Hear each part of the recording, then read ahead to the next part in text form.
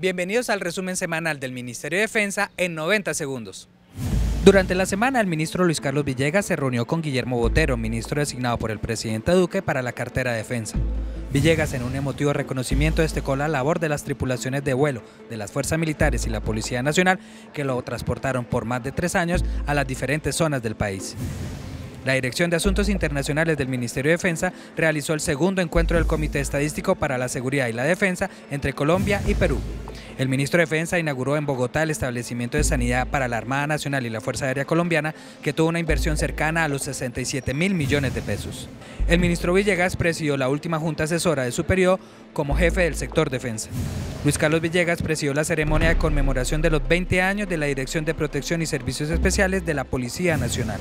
Durante el desarrollo del puesto de mando unificado sobre homicidios, el ministro de Defensa destacó la reducción de este delito en el país como parte de la acción de la fuerza pública. Felicitar a las autoridades policiales de igual forma, la Policía Nacional rindió un homenaje de agradecimiento al ministro de Defensa por su sobresaliente gestión al frente de la cartera. Ministro Villegas, acompañado de la cúpula militar y policial, anunció la neutralización en una operación militar de alias Samuel, cabecilla de la Dirección Nacional del ELN. Para conocer más información del sector defensa, no olvide seguirnos en nuestras redes sociales y en nuestra página web www.mindefensa.gov.co.